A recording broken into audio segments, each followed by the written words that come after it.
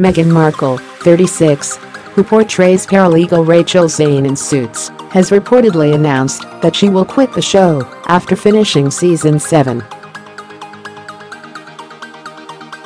Rumors of an imminent engagement to Prince Harry have been circulating for months, and the departure could allow more time for royal engagements.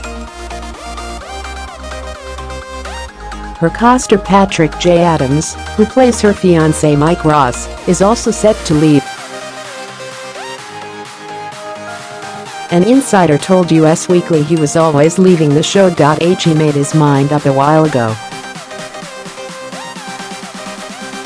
He wants to pursue other things, and he's realized his time at Suits has come to an end. Meghan and Patrick's characters are set to get married in this season, which provides an easy break for Meghan to leave as well. Well, if Meghan is leaving Suits by an on-screen wedding, let's keep our fingers crossed for a royal wedding to follow.